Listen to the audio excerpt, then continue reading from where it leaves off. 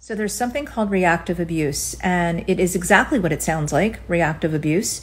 And it is when the victim is in chronic abuse, whatever that abuse is, and it's sort of like they're a volcano.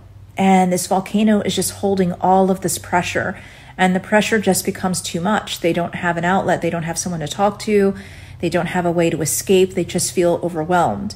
And so something happens and it triggers them, and that volcano erupts, and they feel like they're out of control and they're very reactive, and they can actually be very abusive in that moment.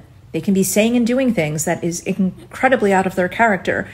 And the abuser takes that time to bask in that. They love that because they know they've gotten you out of your comfort zone and they know that they've gotten you to lose control and they will take that and use that to their benefit. They'll even maybe make you the abuser to the outside world.